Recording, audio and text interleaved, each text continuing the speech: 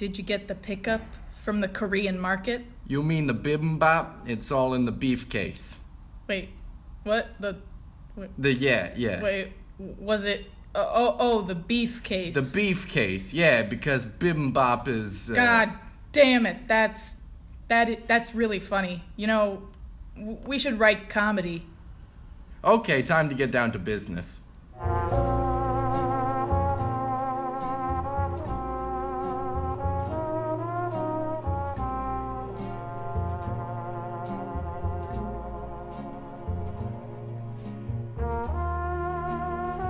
Well, Frankie, we've been on this case for six months, and all we've got to show for it is one piece of evidence and some severe scurvy. And it's not even a good piece of evidence, just a lousy used napkin.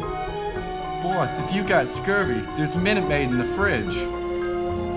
I've been holed up in this station day after day, week after week. For what? I can't be bothered with citrus from concentrate. You know who needs to concentrate? Us. This criminal jackwagon is still at large, and the safety of New Yorkers everywhere is in our hands.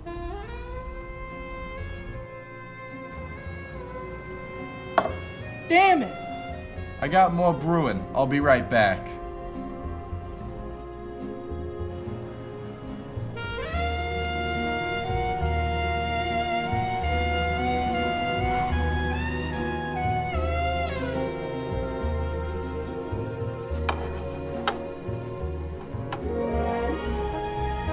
Just don't get it.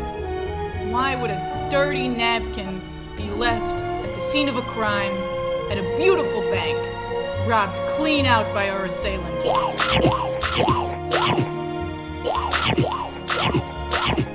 Frankie, you're disgusting. Would you cut it out and focus? Sorry, boss. It's been a couple hours since I ate, and when I suggested Sbarro, you threw up a little in your mouth. Frankie, this is why we can't eat out anywhere. You got whipped cream all over your face. You look like a dog. Come here. Holy cannoli. Would you look at this, Frankie? I can't believe I didn't see it before. What is it, boss?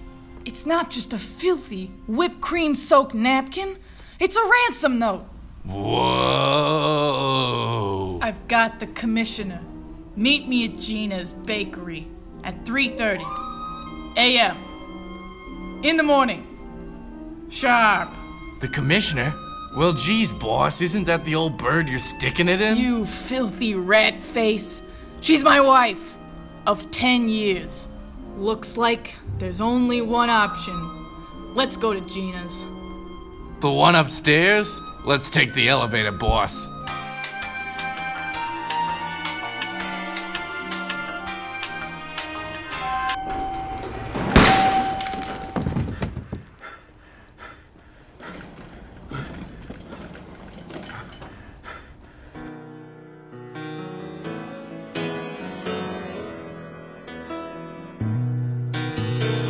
Goodbye, home, Jean.